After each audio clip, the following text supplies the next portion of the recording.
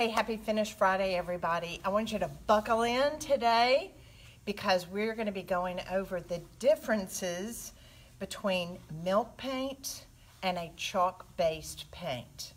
So there is a reason why I'm going over this, and it's primarily because on our before and after group on Facebook, and when we get customer service questions, people will ask us, how do I know the difference between milk paint a chalk-based paint with your one-step paint. How do I use that on a project? What kind of piece of furniture do I use it on? What's the difference? So I thought, what a great opportunity to be able to teach you and raise your level of connoisseurship in the finishing world. So um, let's go over just a little bit of that today. So first of all, I want to show you one of the major differences is the fact that your milk-based paint and your chalk base paint are going to come in two different, totally different containers. The milk paint is going to come in a powder form. The reason for that is because it has a certain amount of shelf time. Once you mix it up, it's only good for about two weeks in a Tupperware container in the refrigerator. So you usually mix up about how much you need for a project, but I'm going to go into why it looks different. The other thing is in your chalk-based paint, it's going to be a much thicker consistency. And once this milk paint is mixed up, I want you to look at the difference of the consistency. So here's your milk paint. Look how thin it is. See how runny it is? You have to work on a more vertical surface. Then look at your, your chalk-based paint. Look how much thicker it is. Now, there's also a lot of differences in the type of surface that you put it on. So with our chalk-based paint, all chalk-based paints, guys, are not the same. With our one-step paint, it is it has no VOCs. It is water-based, but here's one of the biggies. Let's say I have a kitchen cabinet. So you see here, I've got it half and half. One has been painted and one has not. If you have an oak kitchen cabinet, all you have to do is clean it first with our clean, clean slate. Now, why is it important to clean a piece of furniture that you're going to paint first, uh, that you're going to paint with a chalk-based paint? The reason is, um, is because let's say you, you haven't been in that house since the 70s. You haven't um, owned that piece of furniture. They, people are going to use things like oils, lemon oils, orange oils, um, maybe mineral oils. You don't know what's been put on, especially liquid gold that was really big in the 70s. Everybody put liquid gold on everything because it made it shiny for a, for a time. Um, we've got to get all that off. The other thing is it may have wax on it. A lot of people think that if they use wax on a piece of furniture um, and then they want to come back and paint over it again, that they can take some mineral spirits or maybe some lacquer thinner. That's not going to take the wax off. We spent a year and a half formulating the clean slate. Clean Slate will take wax off of furniture. So I always tell everybody, degreasers are great, uh, but the Clean Slate is what's going to allow you to get off the residue to be able to uh, paint a piece of furniture and feel really good about it. So just to kind of um, reiterate, if you're watching today, we're going over the difference between a milk paint and a chalk-based paint product. Ours is called One Step um, what are the differences, kind of what different pieces you want to use it on. The other thing is, I want to ask you, tell me where you're from. Send me some love. Uh, let me know what state you're from. And, uh, and we want you to ask questions. It's 12 o'clock Central Standard Time on this Friday, so if you're watching it live, um, I am here to be able to answer questions because guess what? There's no dumb questions. Everybody learns from something that you're thinking or that I might not go over. Here's your opportunity to be able to ask me live. And if you're watching it after, uh, maybe you're watching this on Saturday night, and you're figuring out what you want to do on a project, and you say, oh my gosh, I wanted to know the difference between milk-based paint and chalk-based paint, um, then be sure and do hashtag replay. That way we know you're watching it later. Are there any questions thus far? Are we good? Shout outs from Florida. Yay! Hey, Utah. Florida. Hey, Utah. Okay, so. Texas. So we are, we're going to make sure this is nice and clean first. And then, um, then that way we want to make sure that it dries. So after you clean it with a clean slate, make sure it air dries and there's, there's no residue and it's completely dry before you actually start painting. So the easeability, here's the other thing. When we're working with a chalk-based paint like ours, you don't have to sand your surface. You do not have to prime it. A lot of people think they've got to put Kilz or something on it first. You don't have to. I just want you to clean it first with a clean slate. Then, um, once it's dried off, you're ready to paint. You don't have to sand it, you don't have to prime it, you don't have to strip it. You can go directly on top of it. That's the ease. A lot of people don't know the difference between our one-step paint and another chalk-based paint. There are a multitude of differences. Ours is a true calcium carbonate, which is chalk, a true calcium carbonate paint that you do not have to seal. So a lot of people are like, you have to put wax on it. Ours, you do not have to. You're going to have a beautiful matte finish. But if you want to wax it, it allows you to be able to come back with a lot of our different waxes and our dust of ages to be able to change the finish, but it's not necessary. It's not going to wipe off. I can easily clean our one-step paint that's on a piece of furniture with Windex, with a cleaner, and it's not going to affect it at all. It's really important that you understand the difference in that. So, I want you to be able to see the consistency, see how thick it is. Now, here's the other great thing about it. You can use the this one-step chalk-based paint on top of, yes, something that's already lacquered. You can use it on oil base. You can use it on mahogany or cherry. Anything that's old that you're rescuing and restoring. Guys, you can use it on melamine, resin, plastic, glass. Um, you've got to allow it to cure You've got to allow it to cure on the glass probably for about 72 hours. Um, and you'll notice that I'm using a synthetic brush. So as I'm placing this on here, I just want to make sure that I do long, clean strokes. Go back and add some more paint, come back in. Now, today's not more about a, um, it's not about a painting lesson as much as it is I'm wanting you to see the difference. So here's what's so great about the one-step paint. What's the first thing we notice that I'm getting here? One, I'm getting great coverage. The other thing is it's opaque. Opaque means I can't see through it. It's 100% coverage. And the fact that I've got to be able to come back if I want to, I can wax it. You'll notice on this side right here, I did just a little bit of um, light wax on it because that way if it's in your kitchen, if you want to be able to go back in and uh, rub a white wet, a wet rag over it, you can. Um, and then here's a little piece of furniture that I've painted over here. This was something that I got at a little antique mall that's right behind me. Um, I love getting inexpensive little pieces for $20 that I can totally redo a piece of furniture. You know, the other thing is, I tell my, uh, my students that we throw away 28 million tons of furniture in the U.S. every year. 28 million tons. That's not furniture, guys. That's tons of furniture. And so many times people throw them away because they're made out of, maybe they're resins, maybe they're particle board, maybe they're Formica. Formica just isn't for countertops. Formica is what a lot of pieces of furniture were made out of in the 60s.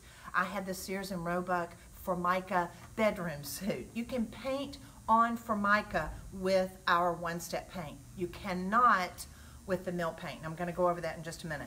So this little piece was actually um, like a particle board, a very inexpensive little piece, but it, it did have a structure inside of um, some wood, so I thought it was worth rescuing and restoring, and actually gilded the hardware. We were talking about earlier, we could do a whole finish Friday on just what you do to hardware, because hardware can really make a difference um, in your piece, and you don't want to neglect that. But, you know, the other thing, look what you know, look what, um, I want to show you this look how I did it in two different colors. So a lot of people don't know why. Um, I've created these little pots. This little pot, as far as the square footage of this chalk-based paint, you can buy two little pots and paint this entire piece. You don't need a quart of paint. As far as the square footage and what it will cover, um, all I'm gonna need is to be able to paint the sides and the top, and then I would need another pot to be able to paint the drawers, and you're done. So um, the coverage is great. It has no VOCs. You can use it on baby furniture. You don't have to worry about it. Um, and you do not have to seal it. And you don't have to sand it, prime it, or um, strip it to get it ready to be able to paint. So, but the main thing that you need to realize is the fact that chalk-based paint um, is going to be an opaque surface. If you want to be able to antique it, you can do that with waxes.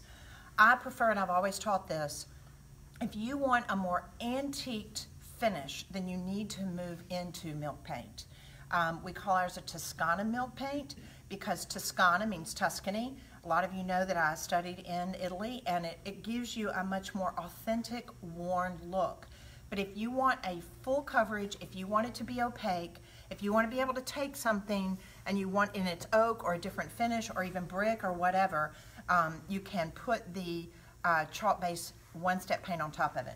Now, I even have, this is just a particle board cabinet door that I had painted and we had painted it in a pale gray color and we came back on top of it with our cerusing wax.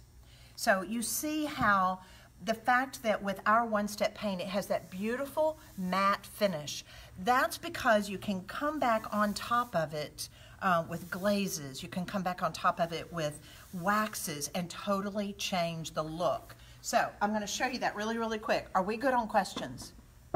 So everybody, everybody knows, nobody's wondering what's the difference? Um, okay. All right, so I'm going to move this out of the way. We understand about cleaning, and we understand about how we want to be able to apply it. So this is a cabinet door that I have painted entirely um, in our one-step paint, and I'm just going to show you really quickly before I go to milk paint. Question. Yes? Diana asked if you want a chippy finish, is there something you should do before painting? Um, okay, is this Diana? Is that what's the question? Diana, I am, I am not a fan of a, a chippy finish that is looking like um, it wasn't intentional. Now, that's a whole other Finish Friday as far as teaching you how to make something look worn. Now, I'm going to pull something as I've said that. I'm going to pull this down and I want to show you. This is a chippy finish done with our um, one-step paint. So you've got, you've got a base color, which is your cream, and then you've got your gray on top of it. This is what we call kind of a chippy finish, but it's been done with our cracked patina. So when you're wanting to be able to get a chippy finish like this, it's best to sandwich it. I have a whole other uh, Facebook Live that you can go in and watch this. So usually with chippy finishes, you're going to have two colors. You can even have three colors. So we talk about the cracked patina being like an Oreo cooker, cookie. It's the center of the Oreo cookie. So you've got your first color that you painted on. Then you're going to put a coat, after it's dry, of cracked patina and then you'll come after the cracked patina is dry, you'll come back on top of it and pull it off. That's the best way to get a chippy finish, not with sandpaper. Sandpaper, um, it looks raw.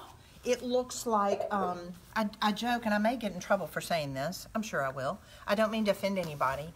Um, but there's a lot of times when people distress furniture, it looks like it's been hooked up to a pickup truck and drug down a gravel road. There's no intentionality. What I'm wanting to teach you how to do is think about how that piece was used, where it wore, where would it naturally have gotten the wear and tear over a period of time.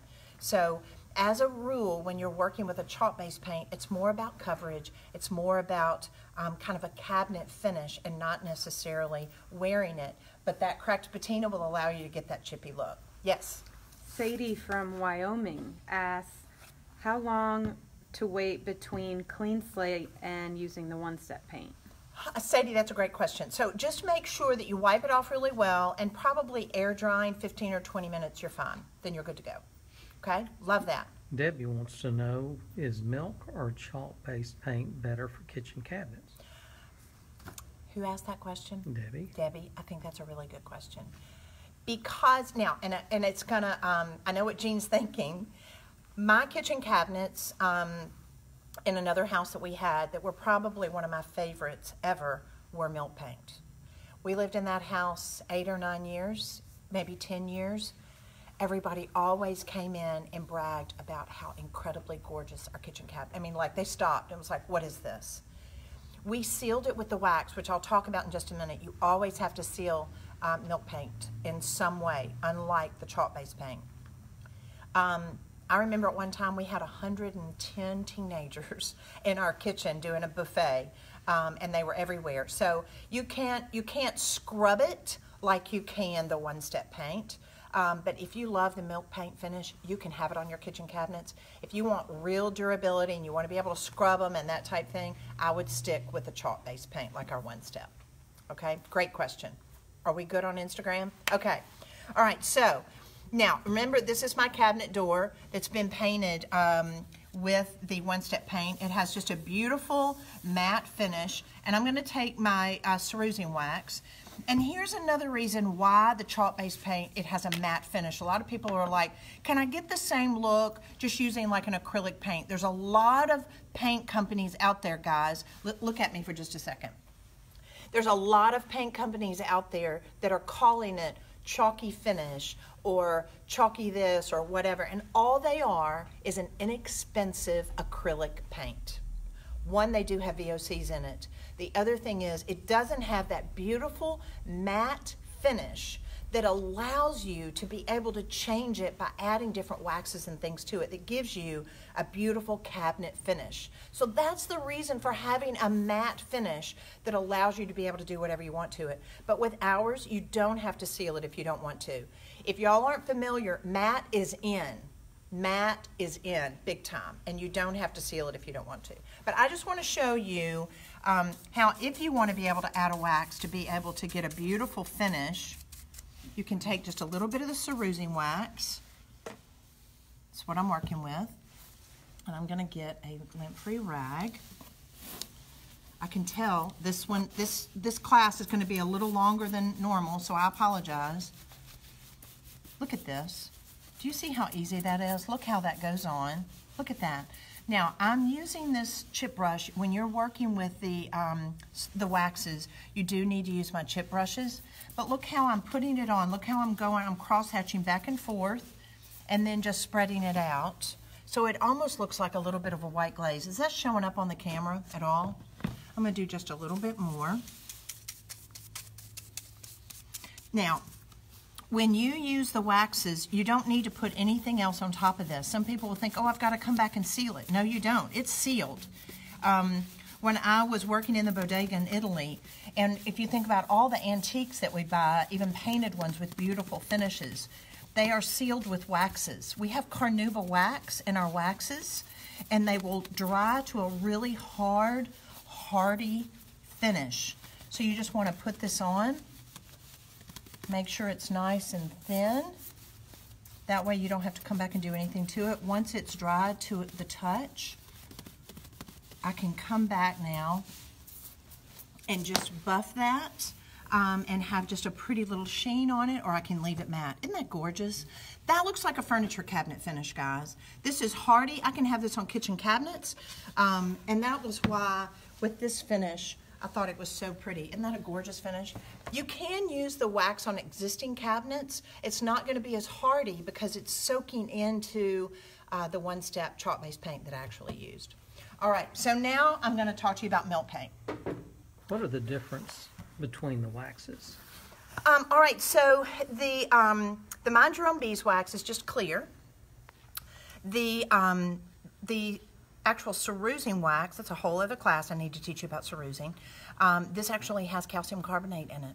So it gives you that beautiful white finish. Um, but the other thing is we do have other waxes as far as our light wax and our dark wax. I tell people if you want to use dark wax, guys, you always have to use light wax. Don't ever use this by itself. It bonds, it's married, they're married. If you just think about it, this is a husband and a wife. I always say this is Jean and this is me. They always have to go together. You cannot use this by itself. It was developed just to be able to be used with the light wax. The light wax goes over everything. The dark wax just goes in the areas you want to age it. Yes? What do you clean the paintbrush with when you're finished? What a great question. Who asked that question? Sadie. Sadie, that is a great question. All right, so this is a petroleum-based product. The reason is, is because, why are you laughing? So the reason is, is because it allows the, the, the natural waxes, the natural beeswax and the carnauba wax to be able to flow out over your surface. So you need to be able to clean it with the clean slate. The clean slate's gonna get wax out of your brush. So great question. You can clean the one-step paint, the chalk-based paint, it's water-based. You can clean it with water um, out of your paintbrush. But your waxes are gonna have to be cleaned with a clean slate. Great question. We all get to learn from one another. All right, so I'm gonna set that aside. And now I wanna talk to you about milk paint. Are we good on questions? Does the wax have to be maintained? Um, the answer to that is no. I mean, if there's a lot of wear and tear on something, and I mean a lot of wear and tear, you can come back if you want to, like if with your um, with your dark wax when you're aging something. But as a rule, uh, you put it there and you leave it. You can come back if you want to, in maybe six months, um, and maybe a year once in a while, like on a on an antique piece, because I use this on my antiques. Y'all know I do furniture tonic and regular wax on my uh, furniture pieces. I don't ever use uh, pledge or Endust or anything like that. They're dust magnets. I want to really give my furniture food, um, so I use waxes and wood tonic. So, but you you're good to go with just one coat. All right. So now let's talk about milk paint. Now we're talking about the differences today. We're not talking about how to do it. I did some milk paint last week, but I do want to show you kind of the differences. Did I just get rid of, let me see, okay. Here is another cabinet door that I painted with just ballet white, which is a one-step paint. See, it's opaque. It's solid. I can come back on top of it with waxes. I can antique it, I can age it. But now look at the, what I painted in milk paint. look at the depth. See how it's been worn? It looks like it's been worn naturally. It doesn't look like I've gotten sandpaper after it. Now, is it next week that we're showing them how to do this? Okay, sneak peek, sneak peek. Because you were part of it today, you're going to be able to see. I painted, um, our team here worked on a large chest. This is a Drexel piece. It's a really big piece, and I think it's got nine drawers in it and we did it in a chalk, I mean a milk-based paint. This was done with our cracked gesso and our milk-based paint, and I'm gonna take you through the whole process next week. So if you love this finish, if you love the depth of it, you wanna tune in next week. Because these Drexel pieces, you can find them everywhere, anywhere from $30 uh, to $60, and you can redo them and they can look amazing in a family room or your bedroom. This piece is also done in milk paint. Can you kind of see the difference? Let me take it over here real quick. All right, so let's look at the piece that I did that I showed you earlier. It's more solid, it's more opaque, it's total coverage. It can go on a lot of different surfaces. Now let's look at the milk paint piece. Let's get a close-up of this. Can you see the difference? See where one's more about full coverage, protection, but this is more about depth. See the depth of it? See the variances? um, in the paint and how different it looks. A lot of people will say, you know, what's your favorite kind of paint? I love them all. I love lacquer. I love because it's high sheen. I love the easeability of using a chalk-based paint. But if you talk about what makes my heart go pitty-pat, it's got to be milk paint. But it's not just milk paint in the fact of any milk paint, because I'm going to tell you I am very, um, I'm very picky because it's important to me to use a true pigment that's not a synthetic pigment. All of my pigments are shipped from Provence and um, they have just these natural tonalities to them when I come back and I antique it. The other thing I want you to notice is look how thin it is. A lot of people, if you're used to working with um, the one-step paint like this, it stays pretty thick in the consistency. When you're working with milk-based paint, guess what? Even if I've after I've just been sitting here, the water's on top, and guess what? My pigment is down at the bottom. Every time I'm working with milk-based paint, I've got to kind of stir it with my brush like this. And I've got to know that I've got to agitate it because there's nothing in here that keeps it solid like this. It's going to have the water and the pigment's going to separate, so you've got to just constantly be agitating it when you're painting. So let me just show you. Are there any questions as far? Are we okay? All right, so here's the other major, major difference. You notice how with our one-step paint, we can put it directly on top of oak, we can put it, um, a cabinet, I can put it on cherry, mahogany, anything after I clean it. Milk-based paint is totally different. I cannot put that directly on top of something that has a lacquer finish. It's not going to adhere unless I want to really distress it a lot. Um, I need to be able to make sure that it's going to bond. So either have to put a bonding agent in this, or what I like doing is I like putting it on top of the one-step paint. So I'll paint my piece in my one-step paint, and then I'll mix up my chalk paint, and that's what I did to that Drexel piece. That's what I'm going to show you next week. So the um, the one-step paint with the milk paint acts as a bonder. It acts as a kind of a prep for it because you do have to have that. All right, so the other thing I want you to notice is look, look how thin it is. You're going to have to work on a vertical surface. You can't work, I mean, you're on a horizontal surface. You cannot work on a vertical surface um, because it's going to have a tendency to run. So you're going to have to take your doors off. You're going to have to take your drawers out. You're going to have to lay them down just like this. So now here's the other thing. It feels weird at first. Um, if you've worked with the um, one-step paint before and you're really nervous, a lot of people are like, "Oh, I can't, I can't mix up something from a powder. I'm going to mess it up." I promise you're not. I want you to go to Restore. I want you to get some old cabinet doors. Um, hopefully you don't live in Memphis and you're not going to go buy them all up because we've got to go there today and get some. Um, but you're just going to see how incredibly beautiful and how easy working with my milk paint is. And I'm going to tell you, I'm very partial. Now look at this. See how when I'm dipping my brush back in here, what am I doing? I'm agitating it. Because remember, the pigments and the water will have a tendency to separate. So you just get used to it. It's kind of like knitting. It's kind of whatever you're working on. You just want to make sure that you're agitating it. It's no big deal. And this will flow out beautiful. It's going to dry down much lighter. You can see how it's already, it's kind of hot in here.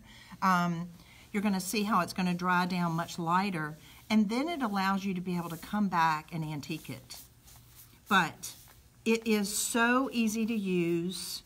It gives you a beautiful, beautiful finish on your furniture. And it allows you to be able to antique it and do multiple colors. I'm going to do another uh, Finish Friday on mixing colors and having two or three different values that you can have colors underneath. All right, so I'm just going to set that aside. It's going to dry in about 15 or 20 minutes. The, yes, Susan asked, is Drexel a furniture brand? Drexel is a furniture brand, really big. They're still around, aren't they? They used to be. They make solid hardwood American-made furniture. The quality is awesome. So when you've got Drexel pieces, do what? Used to. Used to. Well, may, they may not be around anymore. The th- here's the thing. You know, a lot of the companies, the Thomasvilles that were made in the Carolinas, they were all solid hardwood. They weren't sent um, to be made in China and overseas and then have finishes on them that, that we didn't, we don't really care for that much. But here's the thing. This is why I encourage people um, to buy um, pieces that would normally be thrown away because if they're like a fruit wood finish or those beautiful Drexel pieces that were made, um, you know, in the 70s and the 80s, they're solid. They're great pieces for you to be able to rescue and restore them. Yes. Susan asked, what's the best temperature to use the milk paint in? Ooh, that's a really good question. You know, we're getting ready into summer months. You just want to make sure you're not working where it's too, too hot outside. Not, not extreme cold or extreme hot. Um, here's the great thing about it is too, um, it has no VOCs. It is a food grade product. The entire line of products that I have with the milk based paint, whether if you're working with um, the cracked gesso, whether you're working with the antiquing glaze or whether you're working with the milk paint itself. It's all food grade, so you don't have to worry about working with toxins. Um, a lot of, maybe you don't know this, um, but I'm a cancer survivor, and everything that I'm around, whatever I'm smelling, um, I am very aware of what it's doing to my health, and I don't want it to affect me. So um, this is like shopping in the produce aisle for your paint. It's all natural, and you don't have to worry about it. Yes. What color? Okay, so do you love this color? Who, who's asking what color? This is Ann Thompson. Hey, Ann, And I'm just gonna tell you, I custom made this, not to frustrate you, but let me tell you what it is. So, I took my, um, Amalfi Coast, and then I took my Noir, which is black, and I did a full teaspoon of this, and I added about a quarter teaspoon of the black, and I mixed it together, and it gave me this yummy color. Yes, Leah asks, can you add milk paint after you have already sealed something with matte sealer? you know what I would do? Who asked that question? Leah. All right, Leah. Um, wanting to make sure that I don't have lipstick on my teeth. All right, so um, Leah, if I have put a matte sealer on a piece, um, maybe I've even waxed it. What I want you to do is I want you to come back. I want you to clean it with clean slate, and I want you to go on and put on a coat of um, one-step paint. That one-step paint acts as a beautiful primer for milk paint. It's a matte finish. It's going to have a tendency to bond better. I don't worry about what's underneath, but I would really rather you put the one-step on first. Does that answer that question? Yes. Did you have a question? Are we good? Okay. So, see how it's drying down? It's going to dry down to this beautiful light color. And I'm going to set this up here for just a second. I don't, if I don't want to, I can just put one coat on that if I'm going to come back and antique it. And this is one that I was working on last week. I've got a couple of these. You need to go back and watch last week how you can come back and antique it. I've got just a little bit of antiquing glaze. We have another question. Yes. Does milk paint need to be strained before you use it? A lot of times, it's, who asked that question?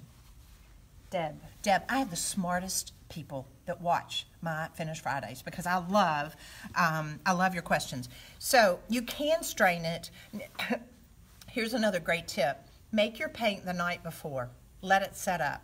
Put it in a container with a top on it. I'll put it in a little Tupperware container. That way, I'll shake it up really good. It just it will thicken up and it'll be much nicer to be able to work with. In a in a pinch, you can make it and work with it just fine, but I like it if I have the time frame and if I've planned my projects, make it the night before.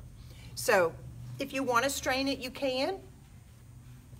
Sometimes I'll just put it through a paint strainer, a little bit of cheesecloth, and that'll get out any pebbles. But if you allow it to sit overnight, you shouldn't have any problems. Great question. Yes, are we okay on here? All right. So I'm going to take a little bit of my antiquing glaze. I may see if I've got a sponge.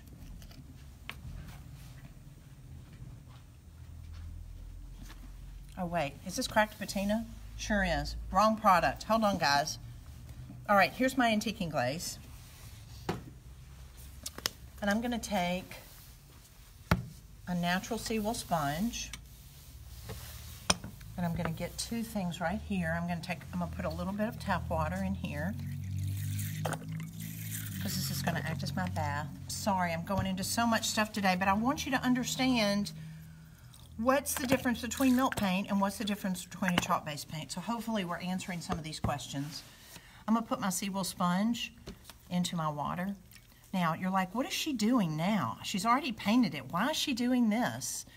This is only if you want to antique it. So a lot of people are like, I want to antique my piece. Look, I want I want it to look like this. I want to be able to see layers of color underneath. I want to be able to see some age. I want to see depth. If this is the look you want, you want a milk-based um, finish. Now, all milk paints are not alike. With mine, um, like I've like I've said, you um, I get all my pigments from Provence. The colors, the depth of the finish you're going to get is much better. Here's the other thing: if you want to be able to get a fissure crack to your milk-based paint, we have what's called a crack gesso. Here's just a little peek of what that looked like. Before you actually put on your milk paint, you can put on a coat of the cracked gesso and then lay the milk paint on top of it and it will crack it. So that's a whole other Facebook Live. We did one of those last week. You can go back and watch it. So I'm just going to take a little bit of my antiquing glaze like this. I'm going to go over it. And look, see this variation that you get from the milk paint? You're not going to get that from um, a chalk-based paint. You're not going to get that even from my one-step.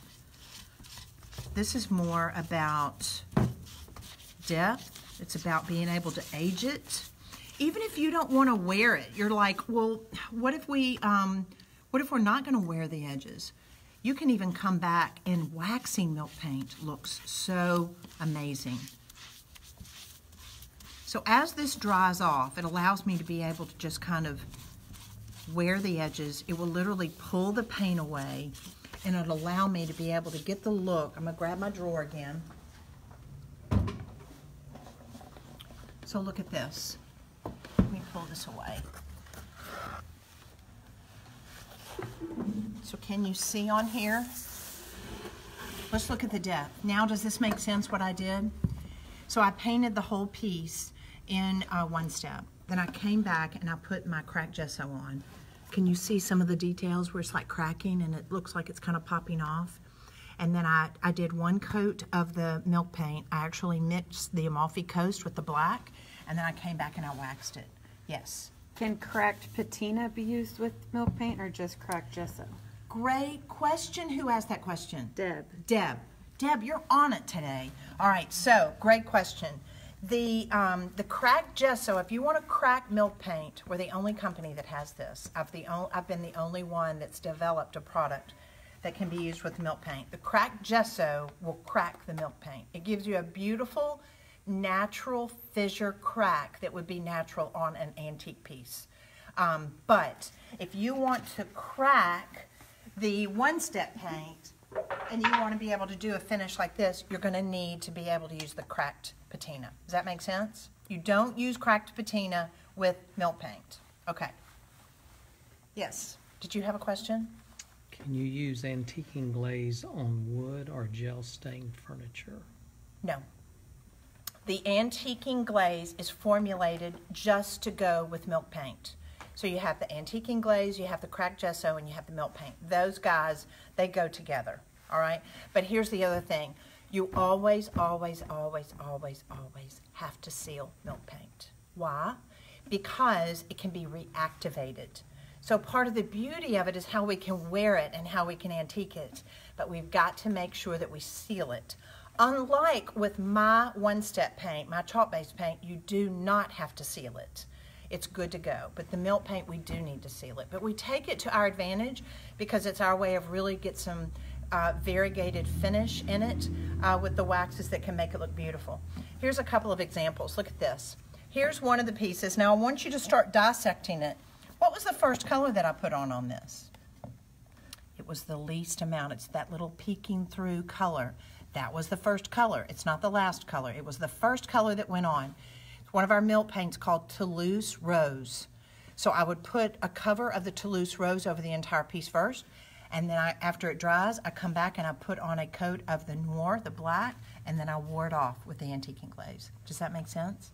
So that way, that allows you to get a very natural, worn finish without it looking contrived. I don't use sandpaper at all on this. If you want a really authentic looking finish, you cannot get it with doing an agitation of a sandpaper. It has to be able to be worn off naturally. Yes? Janine asks, what do you do to get the base color, the one-step paint, to show through the color? That's easy. When I go back, who asked that question? Janine. Janine, great question. So you saw when I painted, um, now this is not quite dry yet, but here's my little door that I just painted. You see how it's drying down? It's The milk paint is always going to dry down the color of what your powder was before you ever added water. So it's going to dry down light. Now, you know what? I'm going to put my drawer aside for just a second because I love the fact that she asked that question and I want to be able to show you. So here's my antiquing glaze. Let's go to this little area right here that's dry. Now, when I come back in, I need to be kind of, look at that. I need to be really careful. There's my white color showing through. So that way, if I came back and I did, um, I did a color underneath, it's gonna lift that off. And that way, it's looking a lot more natural than sandpaper. And it's definitely a lot easier on your hands. So whatever color that you're going to have pop through, try to make sure that there's not too much contrast. We talk about light reflective value. You want to make sure the colors are close enough and complementary enough that it can look really, really pretty. Don't you love that? Guys, I hope this try I hope I did a good job of explaining the difference between milk paint and my one-step chalk-based paint, um, the easeability of it. Because here's the other thing I want you to realize: when you go to estate sales this weekend, or tax sales, or um, wherever, or maybe you're a curbside shopper. We talked about last night um, at an event I was at. Nothing's better than being a curbside shopper and being able to brag on the fact that you got something for free.